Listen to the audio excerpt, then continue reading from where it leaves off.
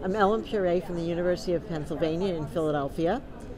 I'm the Grace Lansing Lambert Professor and Chair of Biomedical Sciences at the School of Veterinary Medicine and a Professor of Systems Pharmacology and Therapeutics at the School of Medicine at the University of Pennsylvania.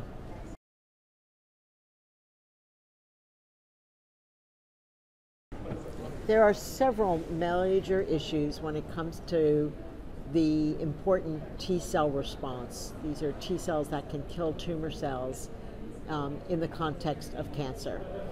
And one of the most important questions at the moment is can we convert the successes we've had in activating immune T cells and or adoptively transferring genetically engineered T cells such as CAR T cells um, into patients and get them to both traffic to tumors and to function, be functional in those tumors with and be effective killers in, in the tumor setting. We've seen this work very successfully in hematologic tumors, but have had considerably less success so far in solid tumors. I think today's sessions, we heard lots of data about advances that are relevant to overcoming this barrier in solid tumors. The first point would be the trafficking itself, and we heard some talks about how we can modify the tumor microenvironment in a way that will allow T cells to actually traffic into tumors, access the tumor cells, as well as be functional. That is really an advance over what we've seen to date. The other, though, is that in most tumors, even if T cells do arrive, whether they're from the patient themselves or adoptively transferred CAR T cells, is that those cells get there, but even if they get there, they're hypofunctional or suppressed. Their immune activity is markedly suppressed. And so they are not effective in any way, and they're just there, but not doing their job. So, what we really got learned a lot about today is the mechanisms by which the T cells are rendered dysfunctional. And what we learned is that there are many, many factors that contribute to this dysfunctional state. One is category are intrinsic factors within the T cells themselves. So we heard from several people about chromatin remodeling. We learned about transcriptional programs, and we learned about post-translational um, regulation of expression of the proteins and factors that T cells need to make or genes that they need to express in order to be functional. So those are the T cell intrinsic factors. We also learned that there's a lot of extrinsic factors that play a critical role. So what do I mean by that? Well, one is that there are tumor-derived factors, but also other immune cells like immune suppressive myeloid cells um, which we also heard quite a bit about today, and their ability to make factors that will suppress the function of T cells. Cancer associated fibroblasts do the same, and we heard quite a bit about that. But we also heard some other very interesting talks, for example, about the role of stress, which results in the release of glucocorticoids, which can also cause dysfunction in T cells or inhibit their function in novel ways. Another really interesting um, topic that came up is the fact that the tumor antigens themselves that these T cells respond to, known as neoantigens, are one of the chronic stimulators of these cells.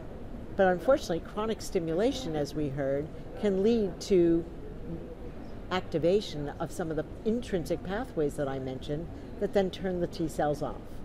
So, again, really complex crosstalk or network of communications between tumor cells, other immune and inflammatory cells, cancer associated fibroblasts, myeloid cells, polymorphonuclear cells, or um, neutrophils as we call them, all have mechanisms that can inhibit T cell function.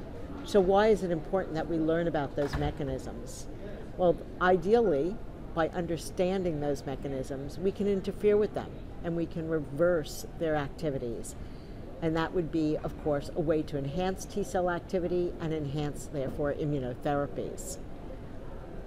One problem with that, however, is, and we just don't know yet because all of this is coming at us very fast this week, but if there are so many mechanisms, if you knock out one, will another become even more active and overcome the benefits of knocking that particular pathway out?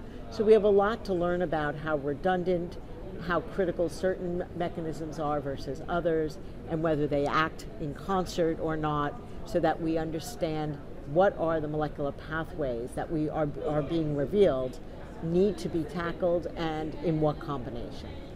So that's something for the future. One additional thing I'd like to comment on is that it's really interesting to think about are all these mechanisms transient? Are they reversible? Um, and can we, in any way, enforce a anti-tumorigenic function of T cells as opposed to a pro-tumorigenic or at least a dysfunctional lack of activity against tumor. Um, so a couple of things we learned here today about that. One is that there is some plasticity and reversibility, um, so that's the good news. But there also appears to be, at some stage, a epigenetic mechanism that actually stabilizes the new phenotype, and that would, in fact, be present quite a barrier to trying to reverse that response of the dysfunctional T cell and making them work properly again. So there are still those challenges to understand, and especially in the context of tumors, we now know that epigenetics plays a big role, and that can truly stabilize a new phenotype of the T cells. The other thing I would mention is that we always think that cancer is a bit of a unique system. Um, we have mutations and we have cancer, and they're different. They're not like normal individuals, uh, cells in normal individuals. But actually, one of the things we know from, from history now, but also was really highlighted today, is that dysfunction of T cells is not unique to cancer. It's in fact intrinsically important to things like autoimmune disease and infection. So, chronic infection, just like in cancer, there's chronic stimulation of the T cells, and that can lead to their dysfunction. And what we learned today is that both in autoimmunity and in chronic infections, the mechanisms invoked by the T cells, both intrinsic and extrinsic factors, can actually mimic or be very highly related to those that we're seeing in chronic infection and autoimmunity. So there's an importance for crosstalk between these fields where sharing that knowledge will help us advance our knowledge of T cell dysfunction in cancer as well. Perfect.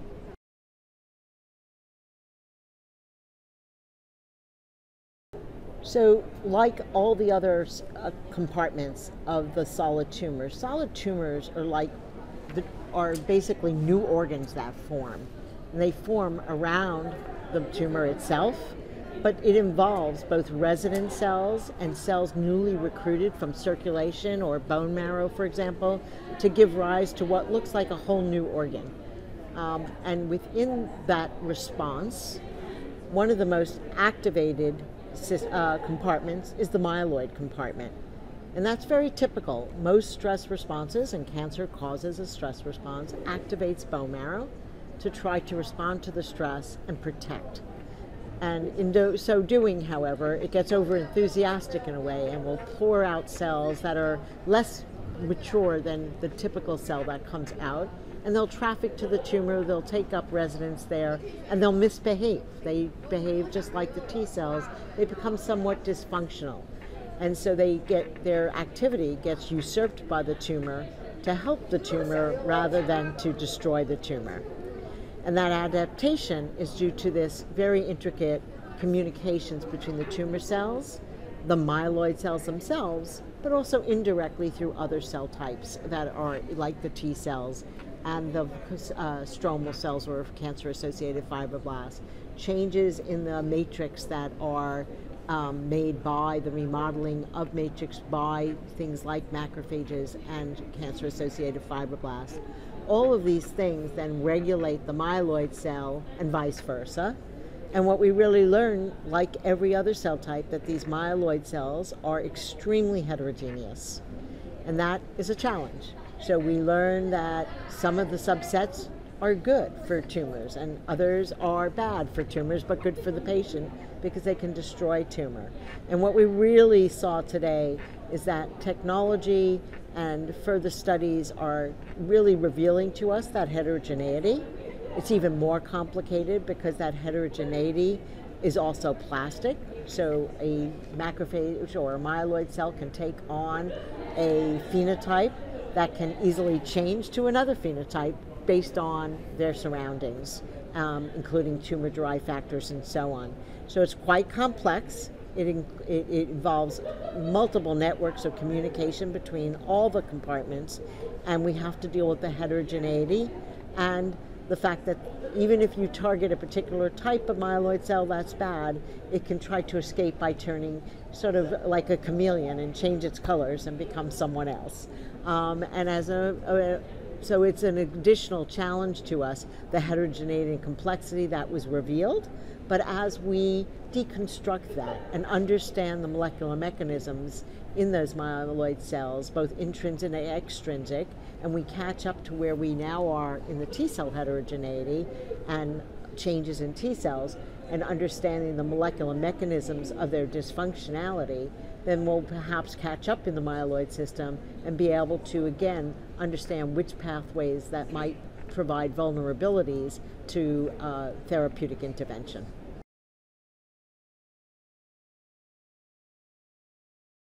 For me, I think the things in general that I think I saw the greatest advances in and are the, therefore my takeaways. One is that the advances in technology and also in informatics um, is really just escalating our knowledge advances um, almost in inconceivable ways. The amount of data that we get, but the ways we can now, for a long time, that was almost just daunting because how does one manage that data? How does one interpret that data? We are now coming up with ways to do that, and it really is making us clarifying for us what the landscape in this very complex micro, uh, tumor environment is and understanding each cell, not just each kind of cell, of which there are hundreds of thousands, but literally down to the single cell level, understanding what complexity there is and what are the sort of takeaway lessons we can learn about what the function of the cells, all the cells, every single cell in that environment is. But also, we're learning that there's such an important um, factor is the spatial relationships and the structure of the organ that we form in the tumor. So we're really learning both at the single cell level about the cell biology, but also an enormous amount about the biophysics of cancer and the spatial relationships and heterogeneity and the temporal relationships and heterogeneity. And I think that all has been advanced largely by advances in technology that go hand in hand. So that's first. Second would be that there really has been for some time now, with not a lot of positive reinforcement, the idea that we're so excited about how well immunotherapy has worked. But that has been restricted for the most part to hematologic tumors, as I said earlier.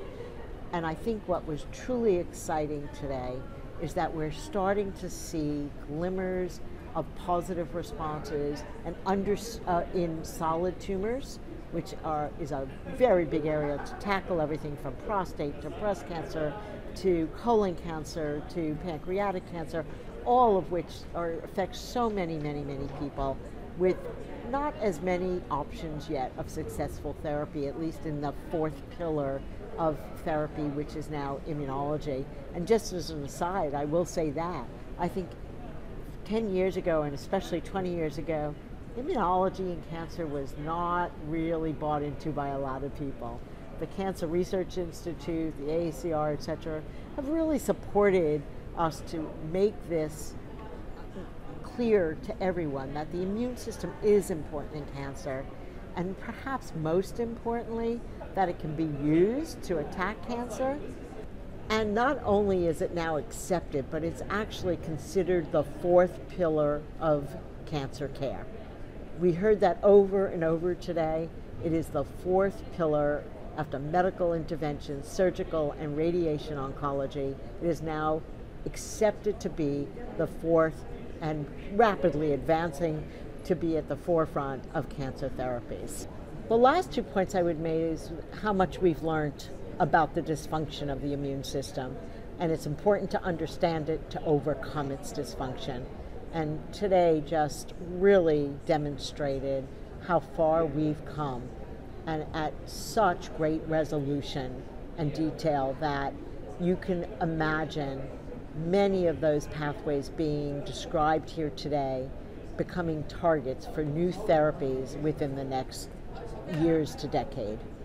Um, and that's a very exciting idea that we will be able to overcome some of the resistance to immunotherapy. And finally, what I would say is that no therapy comes without toxicity. Drugs are drugs, no matter they're living drugs, they're immune mediated drugs. We are going to see side effects, adverse side effects. So, what do we do about that? Well, we've seen them. The most common is not surprising with immunotherapy. We reduce the inhibition of the immune system, and so not only the tumor directed immune response, but some of the immune response to our normal organs, which are kept suppressed, now become unleashed, and we see some autoimmune sequelae. Those have been dealt with quite well, and we've been dealing with them for years. But we're now seeing additional toxicities, such as neural toxicities, cognitive effects. And what we learned today is that we are also beginning to understand the mechanisms underlying those toxicities, new uh, newly understood toxicities, and that again gives us the opportunity to prevent them and or to treat them. So I, the last point I would make for today is that we are really taking seriously the impact of immunotherapy. We understand it's now the fourth pillar. We have to deal with the consequences as well, and we're doing so at a mechanistic level so that we can overcome those adverse events.